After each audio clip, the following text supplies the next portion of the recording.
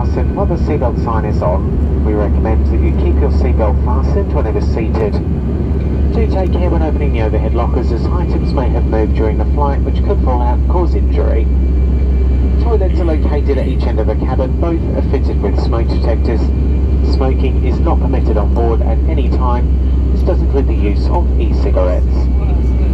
In a few minutes the crew will be coming through the cabin with a drinks and snacks service. Details of the products we have on board today can be found in the sales brochure which is located in your seat pocket.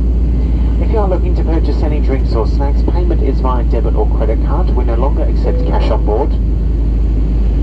Contactless is our preferred method, however we also accept mobile phone payments and chip and pin as well. We'll be coming through the cabin very shortly. If you'd like to purchase any drinks or snacks, then please do stop us. Finally, later in the flight, we'll be giving you the opportunity to purchase from our duty-free shop. We do have a wide range of cigarettes, tobacco and spirits, as well as an extensive selection of cosmetics, men's and women's fragrances, travel accessories, toys, gadgets and much more. Again, full details of all of our products can be found in the sales brochure.